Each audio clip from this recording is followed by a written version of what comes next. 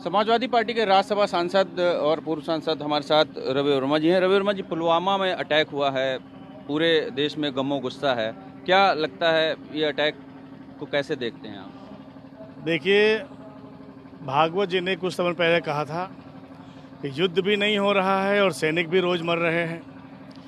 मुझे लगता है कि इसके बाद कुछ कहने की ज़रूरत नहीं है। सैनिक मारे गए हैं। अब तक साढ़े पाँच सौ से भी ज़्यादा सैनिक मारे जा चुके हैं। हम सब लोगों को बहुत दुख है, तकलीफ़ है, ये हमारे ही बच्चे हैं। और सरकार साबित नहीं कर पा रही है कि वो योग्य है। बेगम महबूबा ने तो पहले दिन ही इस बात पर उंगली उठा दी है कि ऐसा लगता है इसमें कहीं ना कहीं भारत सरकार की बहुत बड़ी कोताही है। और हम लोग भी इस चुनाव, इसको, इस जो घटना घटी है, इसको कारगिल की लड़ाई से और पार्लियामेंट पर जो हमला हुआ था उसकी लड़ाई से भी जोड़ के देख रहे हैं क्योंकि ये सारी घटनाएँ चुनाव के ठीक पहले हुई थी।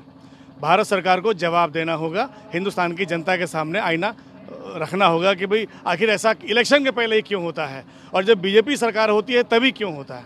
अब मुझे ये समझ में नहीं आ रहा है कि कैसे घट गया। कश्मीर में आज की तारीख में कितनी आर्मी लगी हुई है? कदम कदम पर जाँच है। इनकी जो सुरक्षा एजेंसियाँ हैं, वो पूरे हर घर को खंगाल रही हैं। हर घर में इनके एजेंट हैं, काउंटर एजेंट हैं।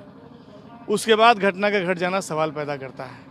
तो ये थे रवि वर्मा जो कह रहे हैं कि पूरी तरीके से जो है, वो सरकार पे कहीं ना कहीं सवालिया निशान उठता है, सुरक्षा एजेंसियों पर सवालिया निशान उठता है और वो जो है पूरे इस घटनाक्रम से जो पुलवामा में अटैक हुआ है, उससे, उसको लेकर गमजदा हैं।